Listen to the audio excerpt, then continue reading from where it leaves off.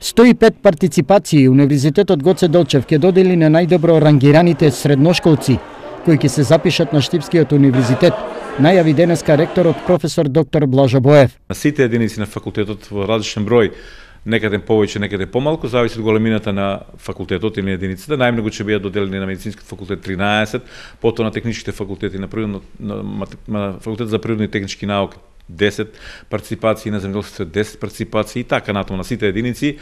До бројката од 105, значи најдобро рангираните средношколци на ранг листите ќе добијат партиципација за запишување во прва година во износ од 200 евра во денарска противредност на студиите програми во градот Штип и 100 евра денарска противредност на оние на оние диспрезирани студии кои постојат во рамките на универзитетот го Шура. Средствата се обезбедени од фондот за иновации на универзитетот во соработка со бизнис заедницата, односно компаниите кои склучеле договор за соработка со универзитетот.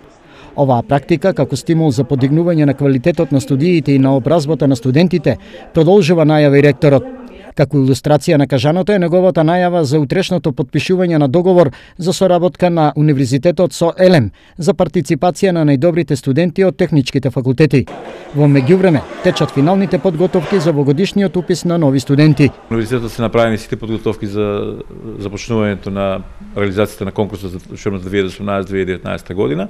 Покасно за оваа година уписите бидејќи покасно почнува и првата и, и учебната година од 1 октомври согласно новиот закон за високо образование. 29, 30, 31 август и 3 септември се датумите за првиот и 14 и 15 септември за вториот уписен рок. 5037 слободни места на 13 факултети и 3 академии се на располагање на завршените средношколци кои ќе сакаат своето образование да го продолжат на Штипскиот универзитет.